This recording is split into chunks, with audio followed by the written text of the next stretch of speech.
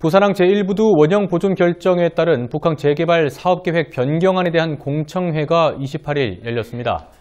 해양수산부 북항 통합개발 추진단의 사업 설명과 함께 전문가 토론과 주민 질의응답이 진행됐습니다.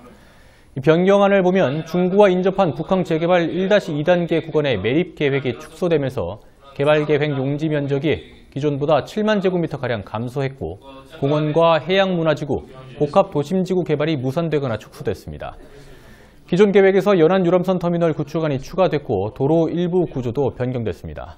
북한 통합개발추진단은 문화유산으로서 가치를 가진 일부두의 원형을 보존함으로써 공공성을 확보하기 위해 사업계획을 변경하게 됐다고 설명했지만 사업 대상지와 인접한 중구 지역 주민들은 큰 반발을 드러냈습니다. 현장에서 주민들의 목소리 담아왔습니다. 함께 들어보시죠.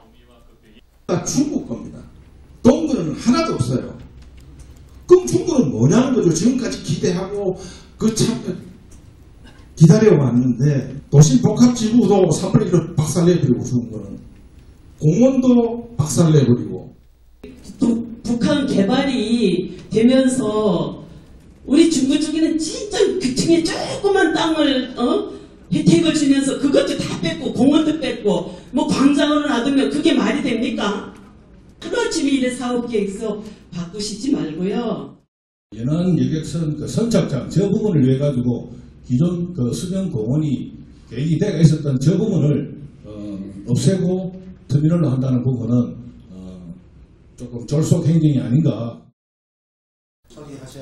북한 재개발 사업 계획에 대한 지역민들의 기대감이 상당히 컸는데 어, 중구 지역 주민들로서는 상당히 허탈한 상황입니다.